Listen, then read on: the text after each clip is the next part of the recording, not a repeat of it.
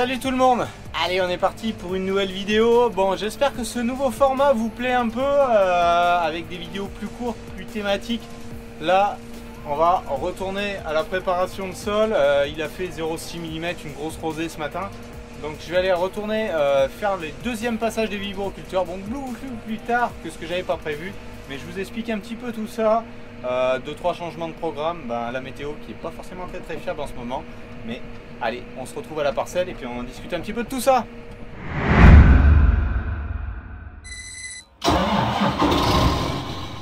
Allez, donc euh, je suis arrivé à la parcelle. Je vais profiter de cette vidéo pour vous expliquer 2-3 points et je vous remettrai euh, des captures sur le côté de la vidéo.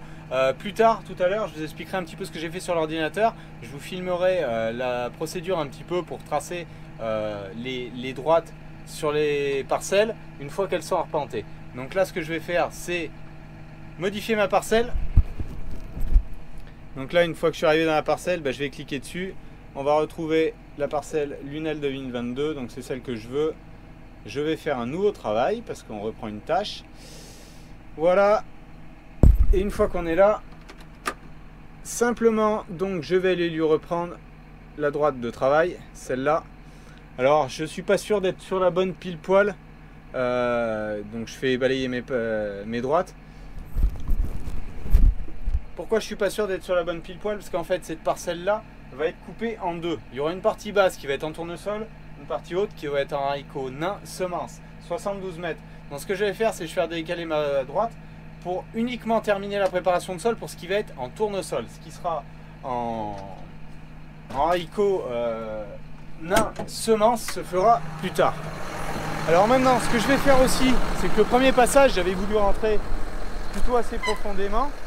Donc c'est de relever la hauteur. Je vais relever d'un point de hauteur tout mon vibroculteur, parce que là, je veux gratter moins profond. Comme vous voyez, ces mottes qui étaient plus grosses, ben, elles sont en train de casser complètement. Vous voyez, tout ce qui est là, c'est en train de casser en petite terre fine. Donc ça, c'est parfait. C'est pour ça que je ne vais pas aller rechercher des modes grasses en dessous. Je vais juste taper ce que j'avais levé au premier passage, mais en roulant beaucoup plus vite. Premier passage entre 8 et 10 km h Là, je vais essayer de me tenir autour de 12 km h Plus de débit de chantier, meilleur affinage. Vous verrez tous ces résultats-là. Allez, je réglerai les 5 roues de jauge. Et puis on est parti à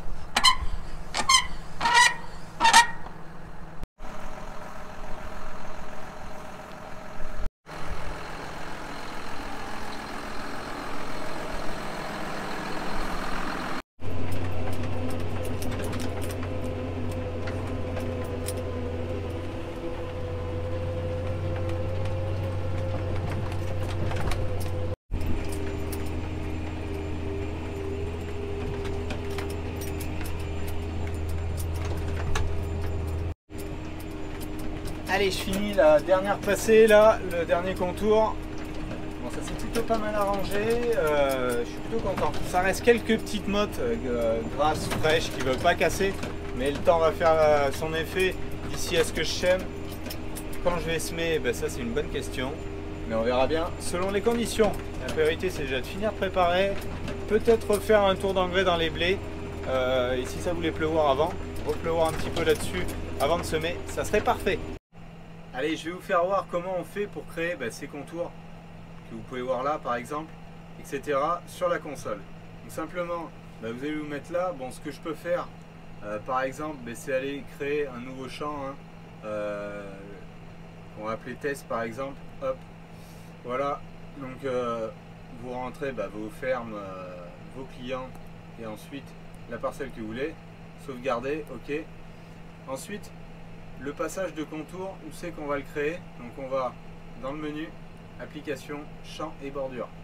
Et ici, on va aller créer une bordure.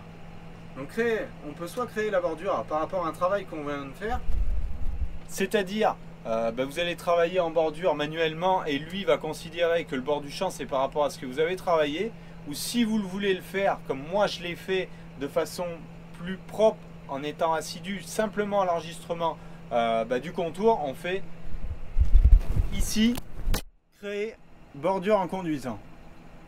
Donc ça, voilà, ça va vous mettre ben, par rapport à la largeur d'outil que j'ai, si vous voulez le décalage sur l'outil, si vous le louez sur le GPS par exemple, voilà, le décalage en haut par rapport à l'antenne du GPS ou l'équipement. Et là, on peut le faire à gauche ou à droite. Et on lui met le décalage que l'on veut par rapport à la bordure. Ça, par contre, euh, pour moi, le mieux, c'est de le faire euh, par rapport à un équipement. Vous pouvez créer un équipement, soit sur le relevage avant, soit sur le relevage arrière. Et par exemple, vous traînez une barre euh, de fer qui dépasse du tracteur avec une chaîne, par exemple, si vous voulez. Et vous allez suivre tout votre contour comme ça, en mettant ensuite démarrer l'enregistrement. Une fois que vous avez démarré, donc là il est en enregistrement, ce que vous allez faire, et eh ben, c'est que si vous avez un angle à faire une manœuvre et tout, vous mettez bien pause à chaque coin et réenregistrer quand vous rattaquez. Et là, vous êtes sûr de faire des belles choses. Ce qui est aussi assez important euh, et que je trouve qui va pas mal, c'est que vous allez mettre un angle. Là, un endroit où vous avez une ligne droite, plutôt que vous tracez la ligne droite, vous mettez votre point sur votre borne enregistré, vous faites 2 mètres, 3 mètres, vous mettez pause, vous allez à l'autre coin, vous remettez enregistré et le GPS vous tracera une ligne droite propre. Bon, par contre, pour tout ce qui est courbe, comme le long par exemple, de ce chemin-là, là, il bah, faut le faire manuellement. Alors, ne pas le faire trop vite pour pas donner de coup de volant. Ayez une conduite souple et là, c'est que mieux. Parce que si vous avez des coups de volant comme ça, et ben quand vous allez faire votre passage de bordure en automatique, donc là, euh, voilà, j'ai supprimé ça. Créer un passage de contour. On va revenir sur la parcelle que j'ai fait là. C'est simple. Si vous voulez, vous allez, on peut remettre nouveau travail. Euh, vous allez ici définir passe, nouveau passage, et vous allez dans passage contour, remplissage contour. Et à partir de là, lui, quand il va le refaire proprement. Donc, maintenant, je vais vous faire voir sur l'ordinateur les autres possibilités que l'on peut avoir.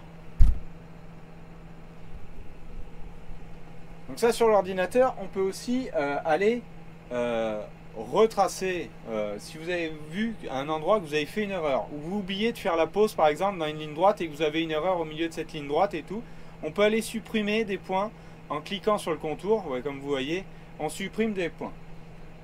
Si vous voyez aussi un angle que vous avez loupé un peu ou arrondi et que vous le voulez bien droit, vous pouvez tirer un petit peu les points pour ajuster. Mais le mieux, ça reste d'enregistrer au tracteur ou avec un, quad, euh, pas un quad, mais un, type Gator, un SSV dans un champ, c'est mieux parce que le quad, je trouve que l'antenne bouge trop, c'est pas terrible.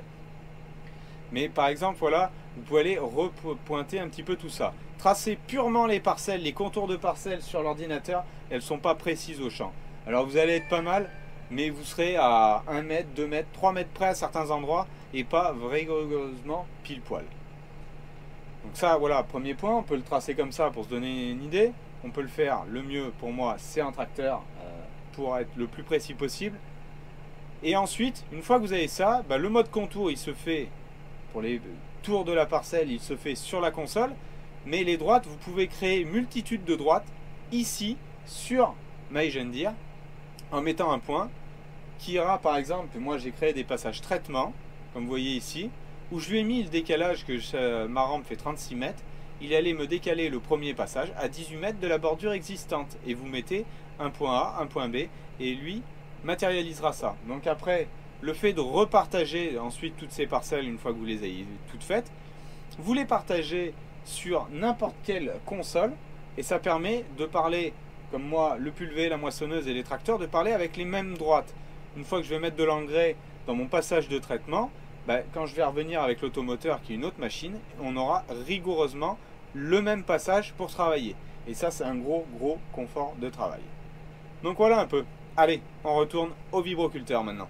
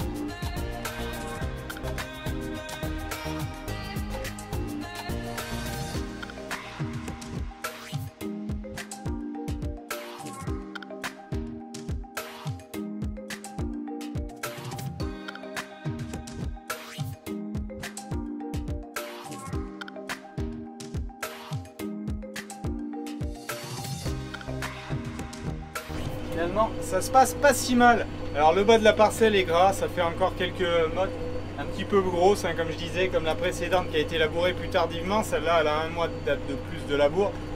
Bon, ça avait été gratté tout le même jour la dernière fois. Mais là, on voit quand même derrière, euh, c'est beaucoup plus fin ici que dans la précédente parcelle ou dans ce qui est au fond. Là. Bon, faut faire avec. De toute façon, je sème pas dans les 10 jours à venir. Matériellement, c'est pas possible. Euh, donc, euh, ben, ça aura le temps d'évoluer, prendre du sec, si possible un peu d'eau. Le gel, j'y compte plus vraiment, même s'il y en a une matinée ou deux où il pourrait faire 0, moins 1 au sol. Mais c'est pas ça qui va faire maintenant, aujourd'hui, travailler nos argiles. Allez, je vais vous placer la caméra 360 à l'arrière du vibro. Vous vous rendrez peut-être mieux compte comme ça au travail, même si j'ai fait quelques vues au drone assez rapproché. Alors là simplement, l'avantage de la 360, c'est que je la pose, vous voyez, comme je veux. Il suffit juste que je me mette en mode 360 et ensuite je la mets enregistrée et après c'est au montage que je vais zoomer sur un point ou un autre. Par exemple, hop, je peux la mettre là et je mets enregistré. Je couperai tout ce que j'ai pas besoin. Allez, je sais pas si vous écoutez trop le vent, euh, parce qu'il y en a pas mal. Alors là, vous voyez, là c'est frais. Hein. C'est souple, mais la terre est fraîche. Fallait pas venir avant. On a eu 30 mm là depuis que ça a été fait la première fois. Et euh, toute la semaine dernière, ça n'a pas vraiment séché. On n'a pas eu de température, on a eu un peu de vent, euh, on a eu du gel les matins. Enfin, pas un temps à sécher réellement. Bon après, hein, ce que je vous dis, hein, ça paraît des fois plus visuel. Ben là en plus il y a un caillou au milieu. Mais sinon, vous voyez, toutes ces mottes là, elles lâchent complètement. Donc là c'est quand même suffisamment affiné pour se mettre un tournesol. Le but aussi de ce passage là, plus on se rapproche du SMI, c'est d'aller aussi réchauffer le sol sur l'horizon de surface. Les températures remontent un peu. Dans la semaine, c'est ce que je vous dis, on va avoir 0 1 au minimum, mais on va avoir 17-18. Là, on a 16 degrés déjà. Donc euh, ça va monter un petit peu plus dans les jours à venir et ça va réchauffer le sol sur les quelques premiers centimètres, là où on place la graine pour avoir une dynamique de levée la mieux possible. Allez, on reprend.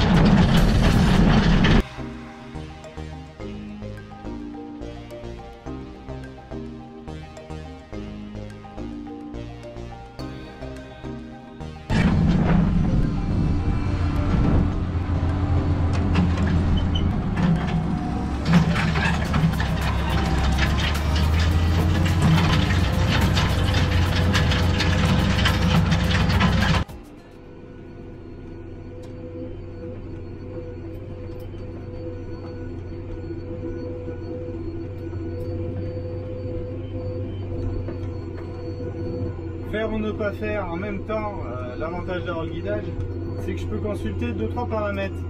Et vous n'êtes pas sans savoir qu'avec la guerre en Ukraine et toutes les conséquences qui en découlent derrière, hein, le prix du gasoil, euh, enfin des, carburants, euh, le prix des céréales qui montent, mais aussi énormément le prix des intrants, l'engrais en partie. compliqué de gérer, savoir ce qu'il faut faire pour la récolte prochaine, les céréales qui sont en terre, vendre, ne pas vendre, quelle quantité, très compliqué à gérer en ce moment. On essayera de faire du mieux possible. comme je vous dis, le dilemme est compliqué. Aujourd'hui, moi, sur mon exploitation, j'ai terminé de vendre toute la récolte dernière qui a été récoltée. Là, aujourd'hui, mes interrogations, c'est de fixer des prix, d'engager des volumes et des prix en face sur de la récolte à venir. Le problème, c'est que beaucoup, et dans les médias, communiquent des tarifs que l'on peut voir, mais c'est des tarifs qu'on appelle natifs. Donc euh, c'est, si vous voulez, plus simplement un peu la bourse, euh, mais à ça s'enlève tous les frais euh, d'acheminement, ce qu'on appelle les bases. Donc en fait, le tarif net pour nous agriculteurs dans ma zone, faut enlever entre 30 et 45 euros selon les différents COP, négoces avec lesquels on peut travailler pour avoir le prix réel qui en est payé aujourd'hui. Donc quand on nous parle de plus de 300 euros sur du blé nouvelle récolte, chez nous on n'y est encore pas. Donc voilà, du moins au moment où je vous tourne la vidéo. Après, euh, ce qu'il en sera dans un mois, dans deux mois, très très très difficile à, assimiler, à voir ce qui va en être, euh, comment ça va durer dans le temps et tout. Par contre, ce qui est sûr, c'est que des unités d'azote, par exemple, juste sur cet élément-là, euh, je l'ai à payer 60-70 centimes il y a deux ans. Aujourd'hui, elle est rendue à 3 euros et avec des problèmes d'acheminement et de disponibilité. Vous voyez le delta, même si aujourd'hui on a du blé qui va s'approcher de 300 euros, il y a deux ans on était autour de 150, donc il a fait x2, euh, pas tout à fait x2 même, euh, pour, la plupart, euh, alors que l'engrais dans le même temps a fait x4. Et ça c'est vrai sur de nombreuses charges. Je vous prends le cas de l'azote, le cas des carburants et du gasoil, du GNR en l'occurrence qu'on utilise dans les tracteurs, a fait plus que x2. Donc en fait, aujourd'hui sur les exploitations, on va être amené à gérer une masse d'argent, mais de là à ce qui est un revenu bien meilleur au milieu, ça sera toujours ben, à voir en fonction des moments où on aura vendu, des quantités qu'on aura vendues placées à des moments opportuns et de la sécurisation derrière sur nos intrants, mes engrais, les semences, les euh, phytos, euh, toutes les charges que l'on peut avoir. N'oublions pas un autre point, tout ce qui est là-dedans, le matériel augmente aussi considérablement en termes de tarifs. Donc euh, on a des charges qui explosent, c'est pas pour ça qu'on a des revenus qui sont bien meilleurs qu'il y a 10 ans. Simplement certains voulaient un petit peu de transparence, j'essaye de vous en mettre, c'est compliqué à appréhender pour tout le monde. Euh, on ne peut pas mettre des chiffres précis sur la table, c'est compliqué pour tout le monde de les appréhender, de les, prendre vraiment euh, comme ils sont, euh, parce que la gestion d'une exploitation, c'est quelque chose qui est vraiment aussi compliqué. Et jouer un tout petit peu sur un curseur, bah, plus il y a de surface, plus curseur, ce volume d'argent peut être bon dans un sens ou dans l'autre. Voilà.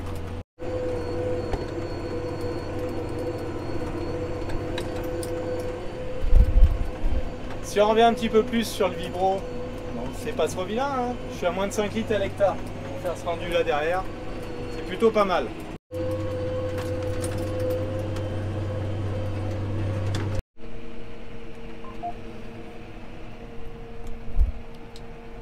Parcelle finie, maintenant la suite, la suivante. Euh, là j'en ai fait ben, un peu plus de 30 hectares. C'est 17h30, donc 30 euh, hectares en ouais, 3h30. Donc euh, ouais, en instantané, ça met du 10-11 hectares. Je fais 9 quoi à peu près. 9 hectares heure, je les tiens là à la vitesse W au deuxième passage. Et ça fait pas du mauvais boulot. Donc euh, bah allez. Je poursuis dans la suivante, quelques images et puis on se retrouve après.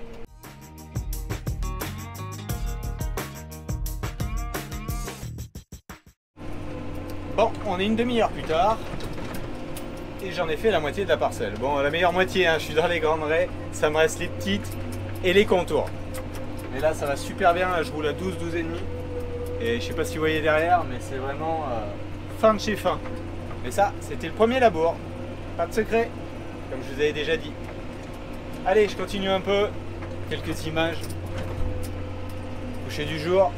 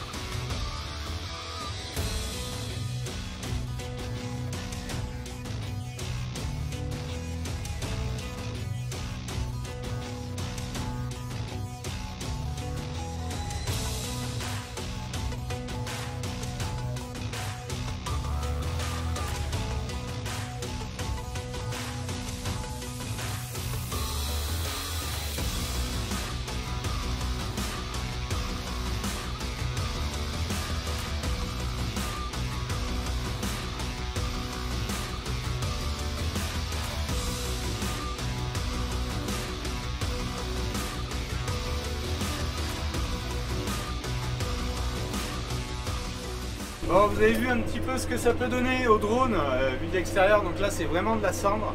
Euh, préparation très plan, euh, bien affiné. Consommation entre 3 litres et demi et 4 litres 2 à des moments. Donc là ça tire moins, bon la terre est moins tirante ici. Un petit peu moins d'argile, 10% d'argile de moins à peu près que dans le fond, 50 là à peu près. 50-55 par endroit. Bon donc là ça s'avance bien. Cette parcelle, elle va aller l'année prochaine en soja. Alors soja qui sèmera que dans un mois et demi à peu près de, maintenant. Euh, là, ensuite à ça, euh, j'irai faire un coup de pluie au rouleau. Le but c'est de faire comme l'année dernière, euh, d'aller rappuyer tout ça, que ça soit bien ferme, que ça se humidifie bien pour semer avec le 750 les sojas ici.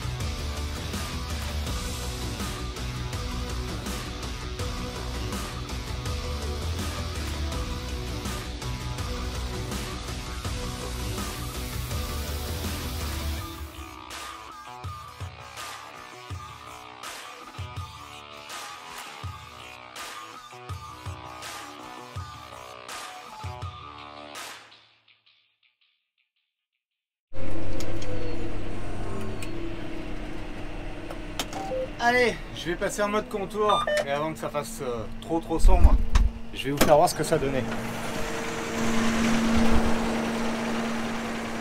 Donc, on partait de ça là, ces mottes là que j'avais fait créer la dernière fois, enfin affinées mais qui étaient restées de cette taille là quoi.